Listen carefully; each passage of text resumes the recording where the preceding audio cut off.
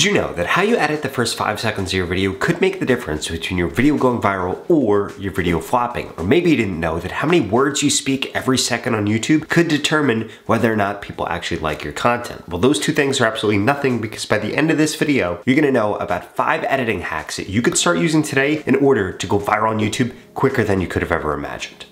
Hack number one is knowing your WPS. What do I mean by this? You need to know how many words you're speaking every second on YouTube. And the easiest way for you to be able to determine this is watch the first 10 seconds of your video and then watch the first 10 seconds of one of your competitors' videos. And what this is going to reveal to you is how many words you're speaking every 10 seconds. And believe it or not, but this really matters. In fact, this matters probably more than anything else on YouTube because if your video is way too quick, people are gonna be confused and they're not going to like it. And if your video is way too slow, they're going to be bored and they're not going to be liking. One of the easiest ways that you can actually fix your WPS is by comparing yours to your competitors and making sure that you're cutting out any silences. As I record this right now, I'm taking breaths, I might be pausing, I might be doing things like that, which are all totally normal things to do. But what you need to make sure that you're doing during the editing process is cutting all of that out because people don't want to see that. In fact, when they see that, guess what ends up happening? It looks incredibly unnatural because they're watching something on the screen screen, then normally we're used to things being edited. Whether we're watching TV or watching a TikTok or watching a YouTube video, all these things are edited out, so that's what we think high quality content is. We're not as graceful as if we were talking to somebody in real life and we could see that they pause or take a breath in between sentences and things like that. So you need to make sure that you're cutting those things out of your content.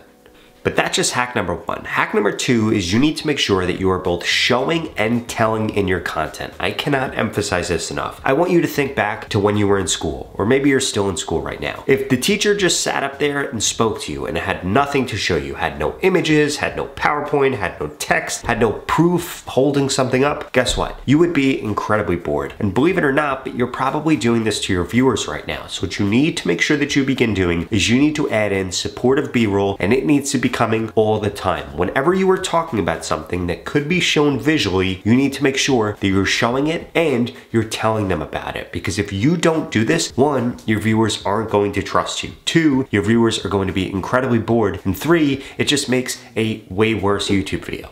Let me show you a few examples. So I wanna look at these two examples right here. Let's watch this video right here and you're going to notice that he does not show and he is just telling. Look at this. $1.2 million in the last 90 days with a brand spanking new offer.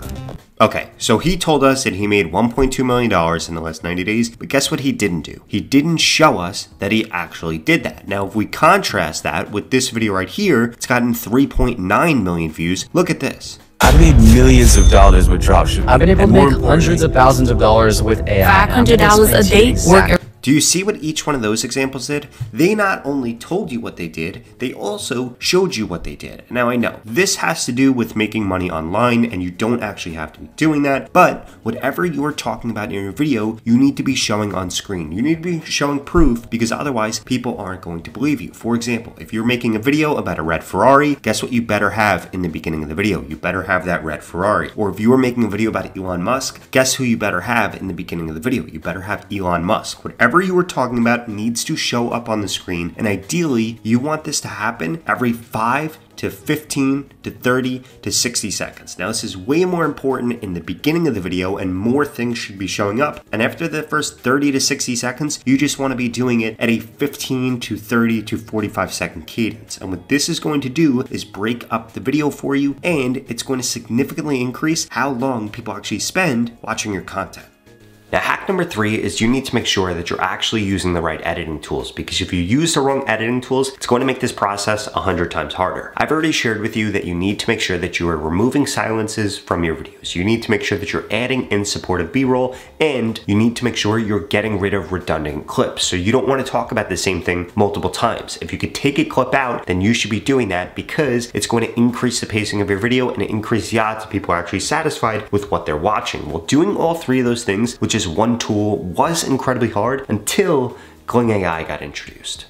Because Gling AI makes doing all of these things a hundred times easier because it's an AI editing tool that was actually built by YouTubers for YouTubers. And it doesn't matter whether you're an experienced editor or a beginner editor, Gling can help cut your editing time in half. Simply upload your video to Gling and you can remove silences, redundant clips, and add jump cuts and so much more automatically. Before I found this tool, this stuff used to literally take me hours to do, but guess what? Now I could get it done in just a few minutes because I'm using Gling. And you can get started with Gling today too for free if you go to the pinned comment below. And that's not even the coolest part about Gling because Gling lets you copy the transcript from your video so you could upload it into ChatGPT and get a list of B-roll ideas in seconds. This literally used to take me hours for me to watch my video, come up with B-roll ideas, or look at my script and come up with them. But now with AI, you could literally do this in seconds. And that's exactly why I'd strongly suggest you go to the pinned comment below and get started with Gling today. It's going to cut your editing time in half so you can actually spend your time doing the things that you like to do.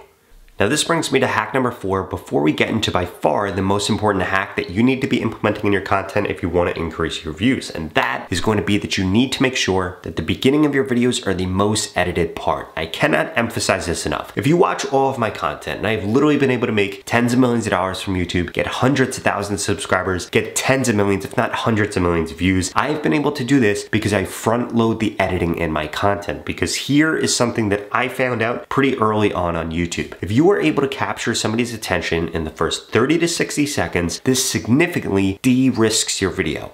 What do I mean by this? Everybody on YouTube is incredibly concerned about how long people are actually watching their content for. But what they don't recognize is that once somebody gets past the first 60 seconds, unless you really screw something up, they're probably going to finish your video so long as you keep rehooking them, you have some B-roll pop up on the screen. And what does this mean? That the beginning of your video is the most important. So if you spend an hour editing content every day, 40 minutes should be spent on the first 15 to 30 seconds of your video. Why? Because this is actually the most important part. See, what most creators are doing is they're spending an equal amount of time editing each part of their video. They spend an hour on the first 30 seconds, then they spend an hour on the next 30 seconds, then they spend an hour on the next 30 seconds, and this is why it's taking you forever to edit your content, and people don't actually watch your content because you're putting in an equal effort across your entire video when you shouldn't be. Instead, 80% of your effort should be put in the hook of your video, and then the rest of your video should kind of take care of itself so long as you have a good hook. And you'll know that you have a good hook when you see this in your video. So this is one of my other YouTube channels. This video has gotten 33.5 thousand views literally in less than two days. And this is a long form video on a channel with less than 25,000 subscribers. And the reason that it has done so well is if we scroll down here, we can look at the first 30 seconds and guess what? More than 70% of people are still watching. In fact, if we come over here to like the first minute and 30 seconds, I still have over 65% of people watching. And what this shows me is that the hook of my video was absolutely amazing. And you need to make sure you have this same exact thing in your video. Because if we come over to one of the videos that I uploaded on this channel that flopped, for example, if we filter by views and we find the lowest viewed video, what we're going to notice is that not a lot of people were still watching the video. If we come into the analytics of, let's say, this video and scroll down, we will see that only 60% of people were still watching in the first 30 seconds. Now, I know what you're thinking, Rob, what's 72% versus 61%? But it's actually a huge difference because just that 10% difference is the reason that this video didn't do well. So you need to make sure that you're paying very close attention to the audience retention you're getting in the first 30 seconds. If it is not over 70%, that's the reason you're not getting the views that you want. And if it's not over 70%, it's because either your pacing was off, you didn't show what you were telling, or you just didn't edit the first 30 seconds enough in order to actually convince somebody to want to watch that video. Hack number five, which is by far the most important part when it comes to editing your YouTube content, is you need to make sure that you have good quality audio. In fact, a bunch of polls and research have been done that actually say that audio quality is way more important than camera quality. So instead of investing in a $5,000 camera or a $3,000 camera, I would strongly suggest that you get a good microphone for your camera. And if you're recording on your laptop, that you also have a good microphone that you are able to use because this is going to increase the odds that people actually watch your content because people don't really care about the video quality. But if your audio quality is off, they're gonna get incredibly frustrated and they're going to stop watching your content. Now, at this point, there's only one or two reasons you're not getting the views that you want to on YouTube. Either one, you don't know what kind of content you should be creating, or two, you don't actually know what you're doing wrong. And I personally wanna help with you one on one in order to fix those things the same way that I helped this channel gain over 380,000 subscribers, this channel over 600,000 subscribers, and this channel over 900,000 subscribers. If that sounds sounds interesting and you wanna work together one-on-one to guarantee you get more subscribers on YouTube, well please, check out this video right here that walks you through the three different ways that we can work together. I'll see you over there.